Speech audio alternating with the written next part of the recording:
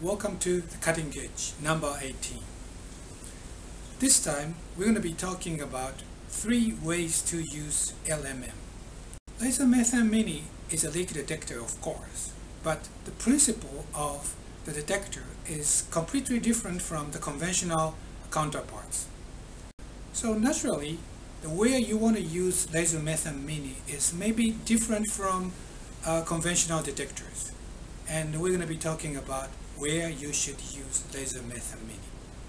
Laser methane is a device to check a gas leak from a distance. Through many years of our experience, we found that laser methane is most useful in some specific applications.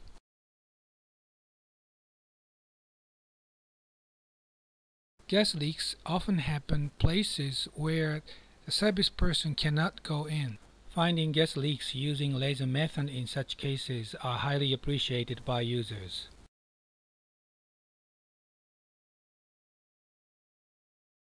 This may be the special case of type 1 leak.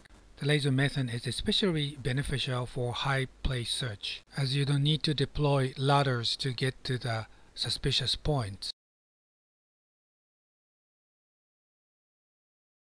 If you need to search for the gas leaks in a wide area, laser methane is the most useful device. By scanning the laser beam, you can easily perform two-dimensional gas plume search.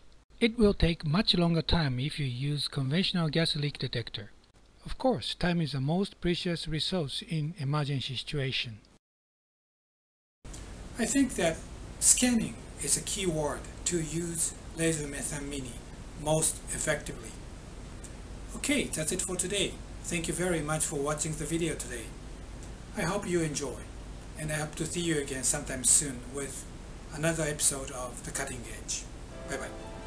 In answering popular demand, the frames behind me were the black and white pictures I took, developed, and printed. And this is one of them. I hope you like it.